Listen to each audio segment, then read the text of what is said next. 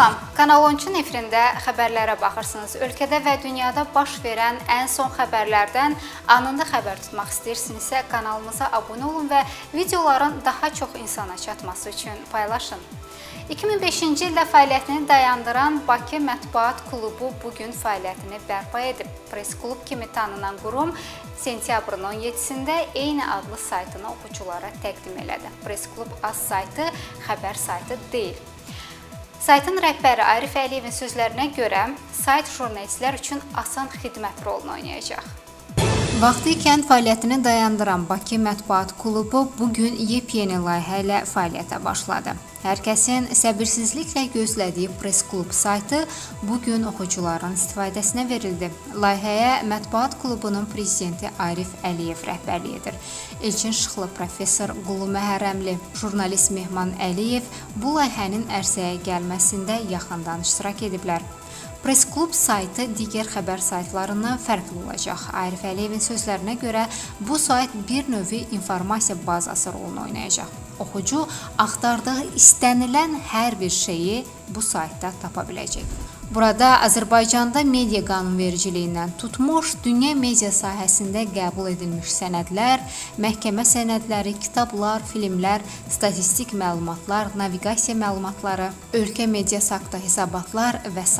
olacaq. Arif Əliyev həmçinin onu da əlavə etdi ki, sayt dünyaya səpələnmiş Azərbaycandan olan jurnalistlərlə sosial media fəalları arasında əlaqələndirici rol oynayacaq. Saytda jurnalistlərin xəritəsi hazırlanıb. Hansı ölkədə hansı jurnalistin olması, hətta əlaqə vasitələri də qeyd olunub. Saytı nümayiş edəcək. Amma bəri başdan iki, üç məsələdir. Bu xəbər saytı deyil və biz xəbər saytlarıyla konkurensiyaya getmək fikrimiz yoxdur.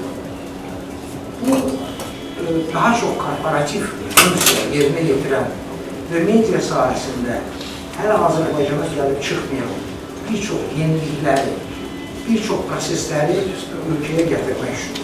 Bizim iki məqsədimiz ki, birincisi, Azərbaycan mediası darmadağın bir vəziyyətdədir. Və mən düşünürəm ki, bu belə bir vəziyyətdir ki, istər e, e, deməli, müxalif mövqeyi, istər hakimiyyət e, adamları, istər də müstəqil düşüncələndirlər başa düşürlər ki, dağıdılmış medianın əzabını və əziyyətini bütövlükdə ölçəcək. Və mən bunu ilk e, söhbət edəndə proqramçılara ki, e, mən nə görmək istəyirəm, nə istəyirəm, o biri mənə baxıb dedi ki, sən sayt istəmirsən, sən maşın istəyirsən. Mən indi o maşını sizə təqdim etmək istəyirəm. Bu sayt üç bölümdən ibarətdir. Birinci bölümü dinamik bölümü. Burada çox qısa sözlə təsvir edeyim, sonra e, göstərəcəm. Dinamik bölümdə gündəlik Azərbaycanda olan vacib, mühüm xəbərlərdir. Biz o xəbərləri istehsal edəcəyik. Biz o xəbərləri orijinal mənbələri saxlamaqla bütün mediadan toplayıb orada yerləşdirəcəyik və üç dildə bu xəbərlər təqdim olunacaq. Azərbaycan, Rus və İngilis dilləri. İkinci dinamik hissəsi eksklüziv hissəsidir ki, burada bizim özümüzün hazırladığımız e, e, materiallar olacaq. Bu e, xüsusi araşdırmalar, xüsusi mövzular və yaxud başqalarına xüsusi mövzu verən bir araşdırmalar olacaq. Çox böyük bazaya bizim çıxışımız var. Onu deyim ki, bax, bu da həmin təqdim olunan Azərbaycanda yeni illərdən biridir. Çox böyük bazaya çıxışımız var. Biz bu materialları seçib saytda yerləşdirəcəyik. O cümlədən bir sıra jurnalistika ilə bağlı kitablar var, filmlər var ki, o bu bazada yerləşdirib, onu başqa yerdə tapmaq mümkün deyil, amma bazada onları yerləşdirib. Bir dənə də nümayiş elətdirək, məsələn, e, beynəlxalq bütün bəyannamələr mediaya aid olan, bütün Avropa Şurasının, Avropa İttifaqının qərarları, deməli, hansı illər burada toplanıb, hamısını Azərbaycan dilində tərcümə edə bilməmişik. Onlara kifayət qədər bilgiyə lazım. Amma onlar burada yerləşib istərilərlə baxmalılar. Müsavat Partiyasının növbəti qurultayına artıq bir aydan az vaxt qalıb. Tofiq Yaqublu və Yadigar Sadıqlı partiya başqanlığına namizədliklərini irəli sürüblər. Hazırki başqan Arif Hacılının isə başqanlığa namizəd olub-olmayacağı hələ bəlli deyil. Xəbər verdiyimiz kimi Müsavat Partiyası oktyabrın 12-sində baş tutacaq növbəti qurultayına hazırlaşır. Tofiq Yaqublu ilə Yadigar Sadıqlı isə başqanlığa namizəd olacaq. Partiyanın indiki rəhbəri Arif Hacılının isə başqanlığa namizəd olub-olmayacağı hələlik bəlli deyil. Təşkilat komitəsi tərəfindən müddət təyin edildikdən sonra Arif Hacılı qərarını açıqlayacağını bildirib. Onun sözlərinə görə partiyanın nizamnaməsinə əsasən onun növbəti bir müddətdə sədrliyə namizədliyini irəli sürmək hüququ var. Başqanlığa namizəd Yadigar Sadıqlı isə düşünür ki, son 5 il ərzində təşkilatın idarə edilməsi heç də ürək açan olmayıb və bu da onun cəmiyyət arasında nüfuzunun aşağı düşməsinə səbəb olub. Digər namizəd Tofiq Yaqublu başqan seçilərsə müsavatın ümumi xəttinin davam edəcəyini, nizamnamə çərçivəsində bu və ya digər korrektələr ola biləcəyini deyib. Mənim bir xüsusi seçki platformam yoxdur, hələ hazır deyil. Hələ namizədliyimi irəli sürdüyümü bəyan eləmişəm. Hələ rəsmi ərizə də yazmamışam. Rəsmi ərizə yazandan sonra rəsmən Müsavat başkanlığına namizəd olacağam.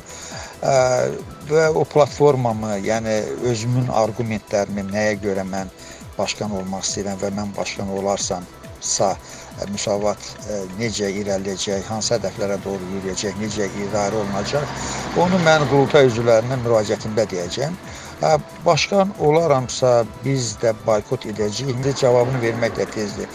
Mən hər dəfə deyirəm ki, hər bir seçki mühiti ayrıca bir fərdi qaydada, cari qaydada dəyərləndirilib qərar verilməlidir. Hələ heç bir seçki zadı yoxdur. Ən yaxın seçkiyə 1 ildən artıq vaxt qalır parlament seçkilərinə. Yəni bələdiyyə seçkilərinə biz zaten qatılmırıq illərdir. Heç kimisə də qatılacağı da görsənilmir ciddi siyasi partiyalardan. O ərəfədə ölkədəki ictimai siyasi durumu, partiyadakı vəziyyəti nəzərə alıb qərar verəcək. Bu gün sentyabrın 17-sində Milli Məclisin Mədəniyyət Komitəsinin iclası keçirilib. İclasın mövzusu isə internetdə nəzarət mexanizminin yaradılması olub. Komitə sədri Rəfail Hüseynov bu mexanizmin yaradılmasının uşaqları internetdə zərərli vasitələrdən qorumaq məqsədi daşıdığını deyib. Son vaxtlar sosial şəbəkələrdə və internetdə bənzər fikirlər hakimiyyət nümayəndələri tərəfindən tez-tez səsləndirilir. Media ekspertləri isə bu fikirləri söz və mətbuat azadlığına basqı kimi qiymətləndirirlər. Bu gün sentyabrın 17-sində Milli Məclisin Mədəniyyət Komitəsinin iclası keçirilib. Komitənin sədri Rəfail Hüseynov internetə nəzarət mexanizminin vacibliyindən danışıb. O deyib ki, internetdəki zərərli informasiyalar uşaqların psixologiyasını pozur, onlarda zərərli vərdişlərin yaranmasına səbəb olur. Biz isə qanunla internetə nəzarət edə bilmirik. Rəfail Hüseynov həmçinin əlavə edib ki, informasiya söz azadlığı olsun, eyni zamanda ona nəzarət mexanizmi də. O qeyd edib ki, internetin cəmiyyətə böyük faydası toxunur, amma təhlükəsini də göz ardı etmək olmaz. Məhz bu səbəbdən də nəzarət mexanizmləri olmalıdır ki, onun hesabına ən azından uşaqları qorumaq mümkün olsun.